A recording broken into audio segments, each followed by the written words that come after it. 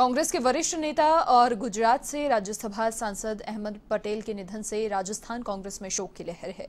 पूर्व deputy CM Sachin Pilot और PCC chief Govind Singh Dotasra ने भी पटेल के निधन को अपूर्णीय क्षति बताया है। पटेल के निधन के बाद राजस्थान कांग्रेस में शोक की लहर छाई हुई है और पार्टी के नेता और कार्यकर्ता पटेल को सोशल मीडिया पर श्रद्धांजलि दे रहे हैं।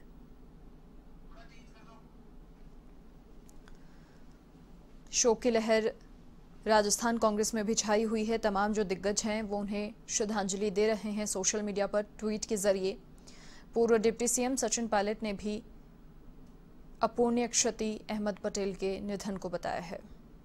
और वाकई में, जिस प्रकार का व्यक्तित्व उनका रहा, मिलनसार व्यक्तित्व के धनी और सभी से संजीदगी से पेश आना, ये तमाम दुर्लभ गुण उनमें थे।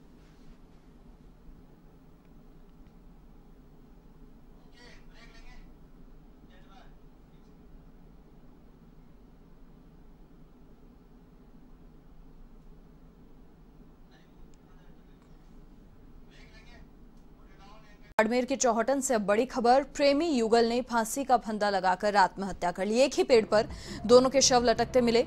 मामले की सूचना पाकर बिजराड़ पुलिस मौके पर पहुँची और मामले की जाँच में पुलिस जुट गई है। बिजराड़ के सरूपे का तला गाँव का ये पूरा मामला है, जहाँ पर प्रेमी युगल ने फांसी का फंदा लगा लिया और एक ही पेड़ पर दोनों के शव लटकते हुए पाए गए। मामले की जाँच पड़ताल में फ़िलहाल पुलिस जुट गई है।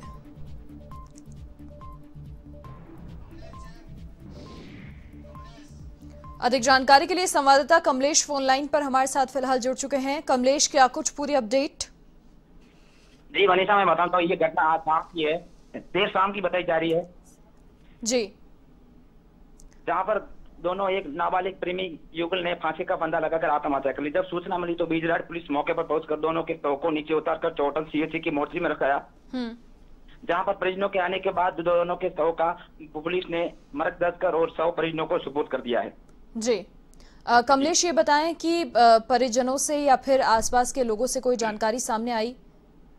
ऐसी मनीषा कोई जानकारी सामने न, नहीं आई है। फ़िलहाल जो बीजराट पुलिस है वो पूरे मामले की जाँच कर रही है। साथ ही मैं आपको ये बता दूँ कि चौटन क्षेत्र में पिछले कई महीनों से ऐसी कई घटनाएँ सामने आ रही है। हम्म। चलिए, बहुत शुक्रिया तमाम जानकारी साझा करने के लिए। तो ये थे कमलेश, हमारे संवाददाता, जिन्होंने बताया कि अब तक फ़िलहाल कोई जानकारी सामने नहीं आई है, क्योंकि ये पूरा मामला पेश आया है। पुलिस फ़िलहाल जाँच पड़ताल पूरे मामले की कर रही है।